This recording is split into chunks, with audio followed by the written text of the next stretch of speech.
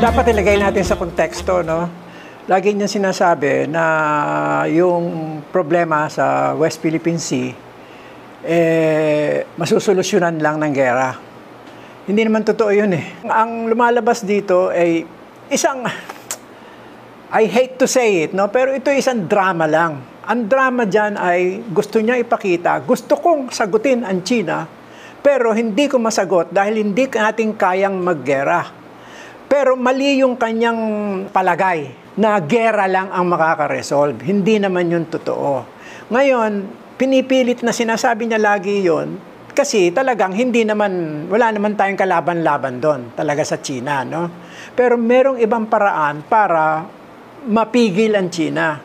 Pinakita yan ng Indonesia, ng Vietnam, at saka ng Argentina yung mga Chinese ships na pumasok doon sa Argentinian territorial waters, eh pinalubog ng ano ng Argentina. Ginawa din ng ng Indonesia. Sinungunog nila yung mga vessels ng China at pinalubog nila. At sinabi din ng Vietnam na itong waters namin exclusive ito sa amin. Hindi kayo pwedeng pumasok dito. So merong mga ganong mga paraan. Ngayon, ano ba ang nangyari sa Argentina at saka sa Indonesia at saka sa Vietnam? Ginera ba sila ng China? Hindi sila ginera ng China kasi isa pang malaking punto na dapat maintindihan ng mga tao, ayaw ng China ng gera. Walang declaration of war na kailangan dyan. In our case, yung Mutual Defense Treaty will come into effect. Pagka na, na, kumilos ang China dito, mai-involve ang Amerika.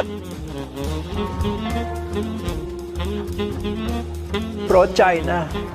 Kasi alam niyang hindi gagawin ng US yon. So lalabas ngayon, ano ba ang US? O walang silbi. Totoo din naman yon.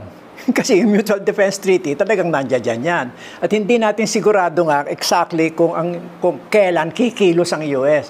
Kasi ang US pwedeng kumilos dito sa kaso na to kasi meron silang interes na mapanatiling libre ang West Philippine Sea.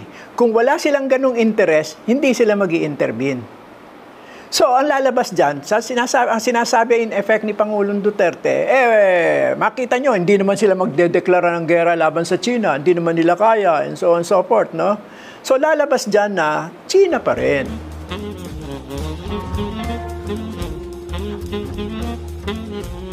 Sabi ng mga ibang ano, analyst, wala daw foreign policy ang Duterte administration. Ano? Meron ang foreign policy ng Duterte administration is China above everything else, no matter the cost to the Philippines and to the Filipino people. Nakita natin yan doon sa nangyari sa mga mangingisda. Nakita natin yan ngayon na nadideplete na yung resources ng ano eh, ng ating exclusive economic zone eh.